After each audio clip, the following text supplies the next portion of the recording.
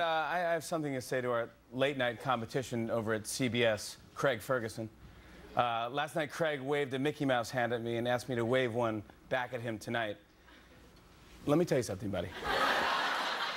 this is how late night wars start. All right? No one can just tell me what to do, okay? I'm Jimmy Fallon, okay?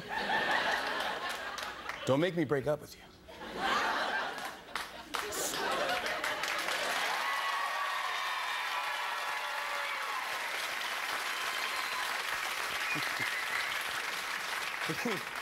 He's a good dude. I love that, yeah. Uh, it's the truth. It's, uh, oh, hey, how about that? Hey, hold on. Hi, Jimmy, hi. hi, Jimmy Fallon. Hey, thanks, man. Thanks.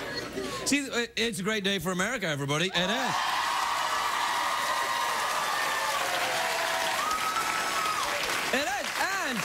It's a great day for me because I just waved to my. What last night on the show, I waved to Jimmy Fallon, who's on another network.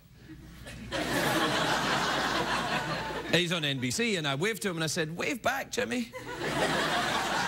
and he just did. I know, isn't that adorable?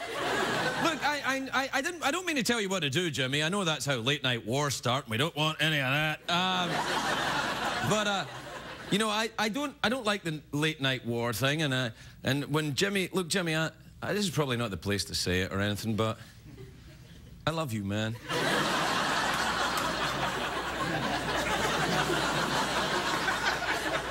just just wanted to say it. Just get it out there.